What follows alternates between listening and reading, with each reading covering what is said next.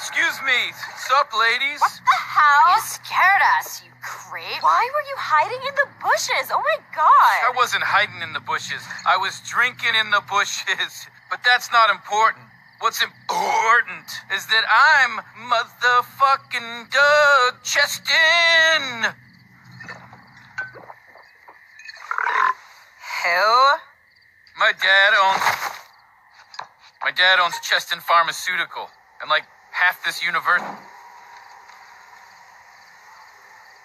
Like half this university. Didn't your dad hike up prices on that baby medicine everyone needs? Totally, yeah.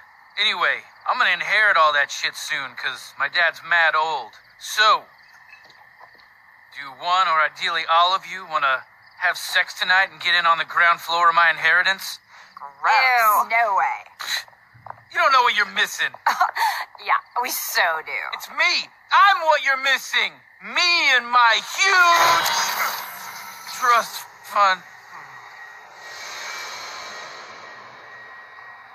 Ugh.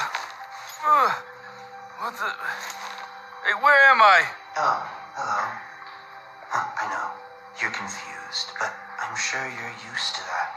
Just stay quiet and still, and soon you'll be feeling better than ever. What? What's going on? You're going through a metamorphosis. A miracle that will take you from useless boil on the behind of this crooked world to a brave explorer charting a shining future for all humanity. Nerd! Who talks like that? You do. You're a nerd, nerd. Hey! Let me up, asshole. If this is some joke or some weird sex shit, my dad's gonna sue you into the Stone Age. Jesus! Oh, oh shit!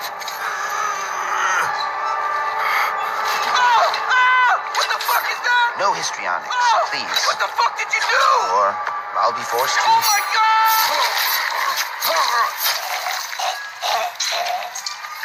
I think we can all agree you're better without vocal cords. Don't worry about those prototypes. You're going to be different. You're going to be beautiful. You're going to be in.